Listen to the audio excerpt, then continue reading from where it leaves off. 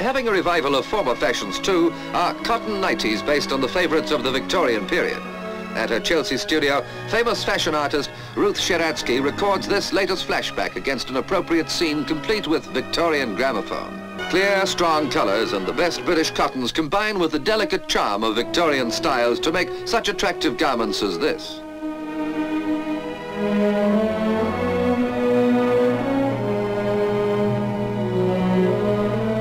Both negligee and nightdress in matching pink are trimmed with the typically old-style broderie anglaise.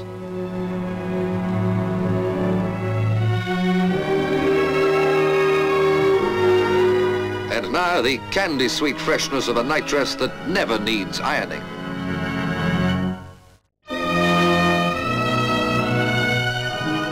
Painting her toenails is something Grandma would never have dreamed of doing, but she did do her dreaming in a nightdress of a similar cut.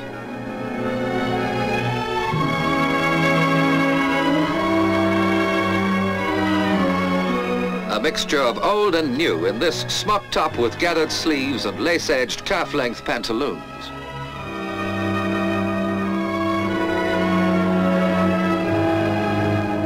More in Grandma's line is the full-length nightie frilled at the yoke and neck. Under it is worn a shortened version of the one-time knee-length bloomers.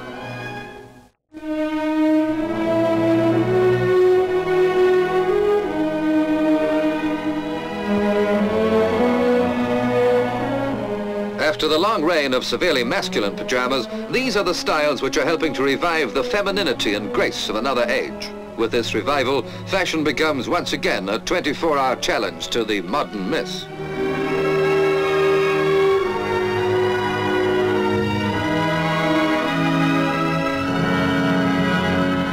In polka-dotted crinkly cotton, a triumph of British style and simplicity, this brings a new meaning to the idea of beauty sleep.